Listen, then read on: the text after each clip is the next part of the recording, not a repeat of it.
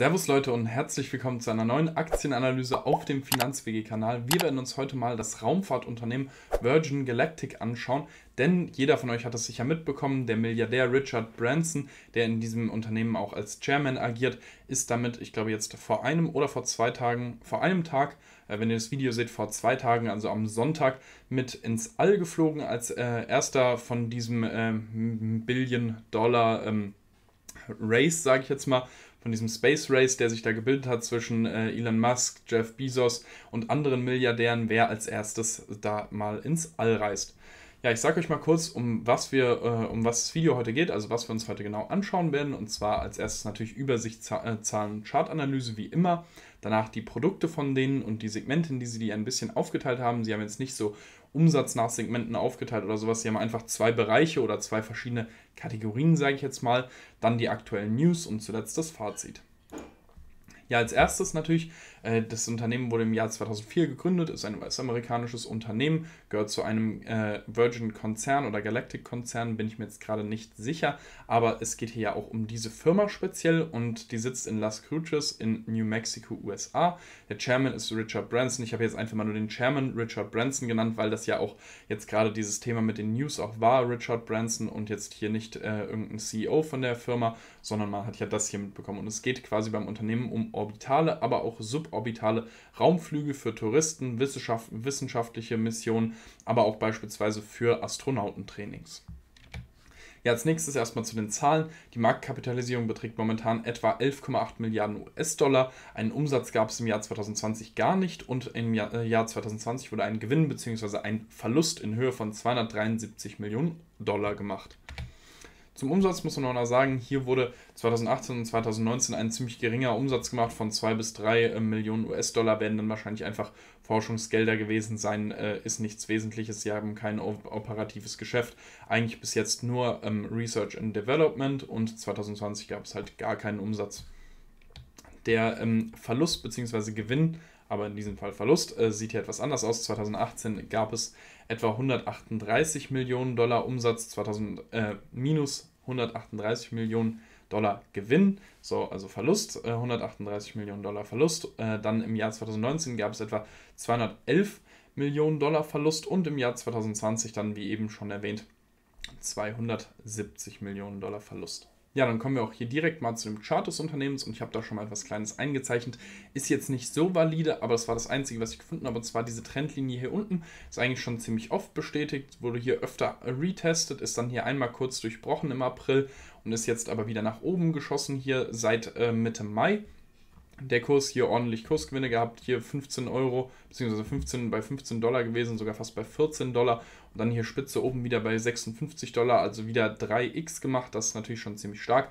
Alles in allem haben wir hier auch ein Long Pattern, das äh, wird aber natürlich nur ausbrechen, wenn es dementsprechend new, dementsprechende entschuldige, dementsprechende News gibt bei dieser Aktie. Ist natürlich immer etwas schwierig bei so einer kleinen Firma, die noch keinen Umsatz, keinen Gewinn macht. Da ist das alles äh, noch nicht so wirklich äh, abhängig und noch nicht so wirklich, ähm, ich sage jetzt einfach mal authentisch, weil wenn natürlich ein äh, VW beispielsweise eine starke Chartentwicklung hat, dann liegt das natürlich an News, aber auch daran, dass äh, VW halt einfach schon seit 40 Jahren äh, rote Zahlen, äh, schwarze Zahlen, Entschuldigung, schwarze Zahlen schreibt und bei diesem Unternehmen ist das halt alles relativ. Da ist ein Pump eigentlich mehr oder weniger nur daran festzumachen, was jetzt momentan für eine News geschieht, was eventuell äh, dort sogar der Milliardär macht, der in einem Unternehmen beteiligt ist oder äh, sonst noch irgendwelche Dinge. Aber man muss auf jeden Fall sagen, wir sind hier das zweite Mal über diese Linie jetzt hier wieder drüber.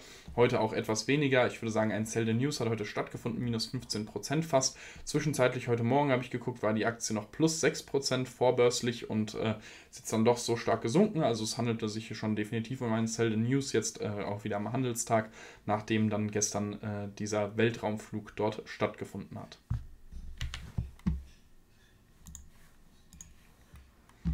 Als nächstes würde ich sagen, schauen wir uns mal die Aktionärsstruktur an. Da ist eigentlich nicht sonderlich viel Besonderes. Hier sind ein paar Kapitalgesellschaften, der Free Float, äh, die Kapitalgesellschaften, wie ihr unten auch schon lesen könnt, damit sich hier keiner wundert, warum das hier viel mehr als 100% sind, ähm, sind dort mit eingerechnet. Wahrscheinlich wirklich diese ganzen Positionen sind dort mit eingerechnet, weil 69 und 23 zusammen sind ja schon fast äh, 100, also es sind 96% 95 Und was hier halt wichtig ist, ist Sir Richard Branson, wie gesagt, eben schon hier mit fast 24% am Unternehmen beteiligt, also schon ein Großteil des Unternehmens. Kann man ja dann überlegen, 25% sind fast ein Viertel.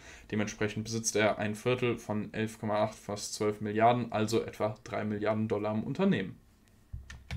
Als nächstes würde ich sagen, kommen wir zu den Produkten und da ist natürlich ganz klar, Produkte, äh, sie bieten Raumfahrten an und dazu haben sie erstmal im Juni 2021, also letzten Monat, eine Lizenz erworben und zwar für den Personentransport. Das bedeutet, dass sie einfach ähm, Touristen, sage ich jetzt einfach mal, ins All transportieren dürfen. Diese Lizenz haben sie erhalten. Was natürlich ganz wichtig ist, ist, dass sie noch keinen Umsatz gemacht haben und dahingehend, beziehungsweise im Zuge dessen auch natürlich noch kein operatives Chef, Geschäft gemacht. Das bedeutet, sie haben noch keinen Touristen, beziehungsweise jetzt ja schon. Richard Branson war ja theoretisch ein Tourist, der dort als erstes ins All gebracht wurde, aber insgesamt haben sie noch keinen Touristen in diesem Geschäft, was sie eigentlich dann ähm, praktizieren wollen, ins All gebracht.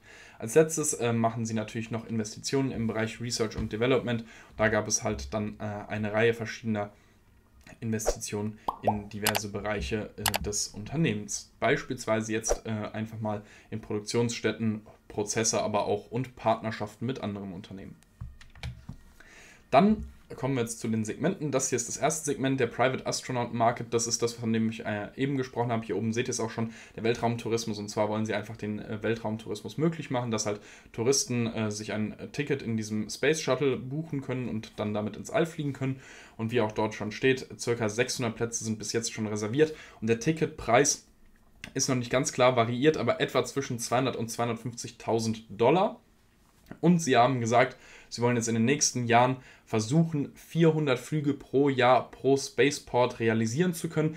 Was genau das bedeutet, was Spaceport bedeutet, äh, ich schätze einfach mal, Spaceport ist eine von diesen Startstationen, die dann dort äh, an diesem, äh, ja, ich nenne es jetzt einfach mal Flughafen in Anführungsstrichen stehen.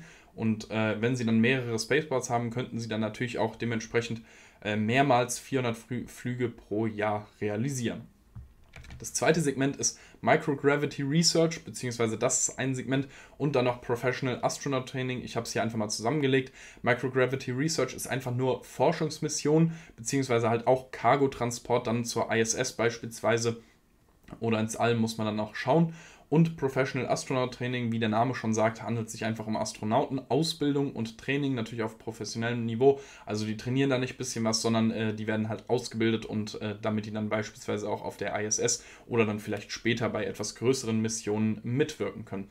Und was auch wichtig ist, sie haben bald den ersten Revenue-Flug damit, also ähm, sie machen bald den ersten Flug, mit dem sie dann quasi wirklich Umsatz machen. Und bei diesem Flug sollen 2 Millionen Dollar Umsatz gemacht werden. Und äh, dort sind dann anscheinend vier Plätze vorhanden, denn sie sagen, dass 500.000 Dollar pro Platz beanschlagt werden. Und da das dann 2 Millionen Dollar Umsatz sind, würde ich jetzt einfach mal davon ausgehen, dass es sich hier um vier Plätze handelt.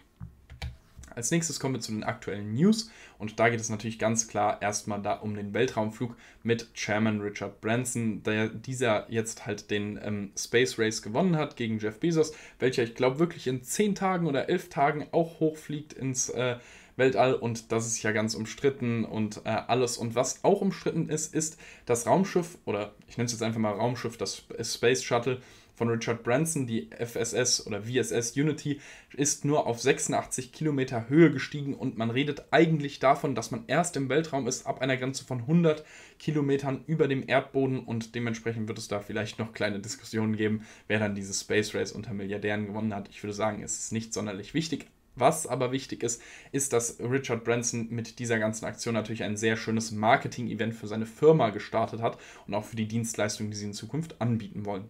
Was natürlich noch wichtig zu sagen ist, ist, sie haben einen Antrag auf Kapitalerhöhung gestellt, denn das Unternehmen braucht Geld und zwar haben sie einen Antrag auf eine Kapitalerhöhung in Höhe von einer halben Milliarde Dollar gestellt. Ich würde sagen, wir kommen auch direkt mal zum Fazit des Unternehmens. Und zwar habe ich hier einfach mal kurz und knackig zwei Worte zugeschrieben. Es gab jetzt nicht wirklich viel. Zahlen hatten wir kaum welche. Es gibt noch keinen Umsatz. Sie haben noch kein operatives Geschäft gemacht. Das heißt, hier ist eigentlich noch nichts gelaufen, außer dieser Marketingaktion mit Richard Branson jetzt. Und zwar habe ich hier einfach mal aufgeschrieben Zukunftsmarkt. Es wird sich nämlich immer mehr, denke ich, äh, nach oben orientieren auf unserer Erde und zwar in Richtung Space, vielleicht im, äh, in Form von Space Tourismus, aber auch das wirklich womöglich in den nächsten Jahren, aber das wird noch etwas hingehen, äh, andere Planeten kolonialisiert werden und damit ist das natürlich hier ein deutlicher Zukunftsmarkt, jedoch nicht für die nächsten fünf bis zehn Jahre gesehen, sondern wahrscheinlich eher für die nächsten na, 30 oder für die nächsten 10 bis 100 Jahre wahrscheinlich. Und dann natürlich gute Marketingstrategie. Das mit dem Flug, das war natürlich eine super Marketingstrategie, hier den Space Race zu machen, den Space Race auch noch zu gewinnen, sage ich jetzt einfach mal. Und das natürlich mit der Firma, die dann auch die, äh, den Weltraumtourismus wirklich anbieten möchte, ist natürlich eine super Marketingoption, die Richard Branson hier getroffen hat. Zum Fazit Contra müssen wir natürlich ganz klar sagen, das Unternehmen hat schlechte Zahlen, sie haben noch keinen Umsatz gemacht, sie haben noch nichts gemacht und dafür sind sie auf jeden Fall ziemlich überbewertet, denn sie sind mit fast 12 Milliarden US-Dollar bewertet. Na, obwohl, wenn der Kurs heute 15% gedroppt sind, sind sie wahrscheinlich nur noch fast 10 Milliarden US-Dollar wert. Aber trotzdem, das ist natürlich immer noch verdammt viel für ein Unternehmen, was eigentlich noch nichts gemacht hat, außer ähm, Forschung und Entwicklung und jetzt mal eine Marketingaktion äh, gebracht hat. Wer hier einsteigen möchte, ich persönlich halte einigermaßen viel von so Space-Unternehmen. Ich habe auch schon mal überlegt, in einen Space-ETF zu investieren, weil ich das sehr interessant finde, auch gerade in Bezug auf die Zukunft gedacht. Jedoch denke ich, dass bei gerade diesem einzelnen Unternehmen es natürlich etwas schwierig ist, weil wir hier diese Kombination haben wieder, wir haben ein amerikanisches Unternehmen, was schon jetzt in den Tod gehypt wurde mit 10 Milliarden Marktkapitalisierung, obwohl noch nichts da ist und ähm, die haben halt eine geile Idee, aber die sind jetzt schon so krass überbewertet, wie wir das bei vielen Unternehmen schon gesehen haben, dass hier ein Investment zu platzieren natürlich recht schwierig ist. Ja, ich hoffe, ich konnte euch das Unternehmen etwas näher bringen. Falls ja, lasst doch gerne ein Like oder ein Abonnement da.